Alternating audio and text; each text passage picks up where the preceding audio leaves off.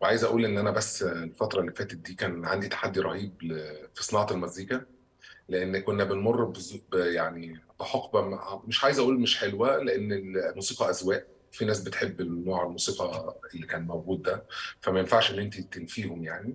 بس هي ما كانتش آه، بتمثل مصر يعني بشكل جيد. صحيح. آه، فبالتالي آه، قفلت على نفسي سنة أو سنتين أو ثلاثة كتير يعني. يعني عشان أعرف يعني انت اكتئبت من من من الموسيقى اللي هي مش شبهنا زي لا لا ما ما اكتئبتش ما درست. امم يعني حاولت إن أنا أوصل للذوق العام ليه ليه حصل كده. حصل كده.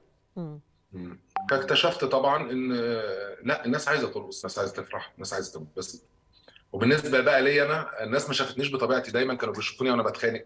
يطلع المذيع يتكلم صح عليا عن صح. مشاكلك مع فلان ومشاكلك مع فلان صحيح. فما حدش شاف عمرو مصطفى الطبيعي. فكل الناس كانت بتشوفني وأنا بتخانق وأنا بتضايق مع بتكلم عن عن مشكلتي مع الفلان الفلاني. وفي الآخر هم كانوا بيضربوني من تحت وأنا اللي بطلع وحش قدام الناس لأن هم مش طبعا شايفين طبعا. ال- ال- الحقيقة. وكان في بس كان في إهدار لطاقتك الفنية لأنه آه، دايما أنت عندك طاقة فنية حلوة يعني. طبعا طبعا وهدرتها في السنين اللي فاتت دي كلها بس الحمد لله وصلت لمرحلة النضوج الفني. عرفت أنا عايز إيه هدفي إيه نفسي أعمل إيه لبلدي قبل ما أكون هعمل لعمرو. لأن في الآخر الموسيقى دي لما أنا هطورها وهغير الشكل بتاعها آه، كتير قوي هيمشوا وراها. فتمام الحمد لله. صحيح.